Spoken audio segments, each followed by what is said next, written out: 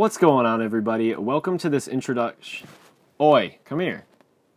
Hey, you're supposed to be helping me with the intro. What's going on, everybody? Welcome to this introduction video on making this uh, connect the dots style JavaScript game. Yeah, so this tutorial series idea is actually inspired by a project that I published to the App Store last year.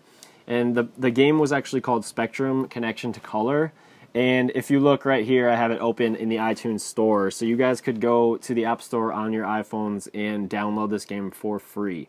So you should definitely do that, try it out so you have a better idea of what we're actually doing in this series. So the game was actually about connecting dots, like connecting them and, you know, trying to use all the dots on the screen and connect them into the bigger circles. And it was also about mixing colors and stuff. But I'm really simplifying this tutorial series so that it's really just covering the connect the dots. So we're going to have like a bunch of dots on the screen and then we'll be able to connect them with a line and go around the screen and connect them in any pattern that we want. And I don't actually have a demo of what this is going to look like when we're done because I actually haven't written it yet. I'm just going to be writing it as we're going along, so you guys are going to be following me as I'm writing this from scratch. So I do anticipate that I'll probably make a couple of mistakes here and there, but I will end up finding them and will correct them. So just be sure to follow along with every episode so you don't miss anything. So the only thing you're gonna need, besides having a computer to actually work with, is just a text editor. And many of you probably already have a text editor. If you've already been programming with JavaScript, then you probably have one that you really like. But I'm just gonna go ahead and recommend Brackets as a really good text editor. That's the one I use that I'll be using for this series.